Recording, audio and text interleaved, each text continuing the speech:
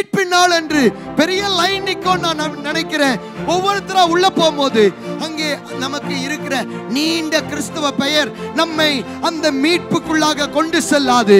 நம் மீது இருக்கிற அந்த சிலுவையின் செயின் நம்ம கையில் இருக்கிற சிலுவையின் பிரேஸ்லெட் நம்ம நம்முடைய உடை நம்முடைய கிறிஸ்தவ அந்த காரியங்கள் அலங்காரங்கள் நம்மை அந்த மீட்புக்குள்ளாக கொண்டு செல்லாது. நம் மீது இருக்க வேண்டியது ஒன்று என்னவென்றால் பரிசுத்த ஆவியானவருடைய முத்திரை.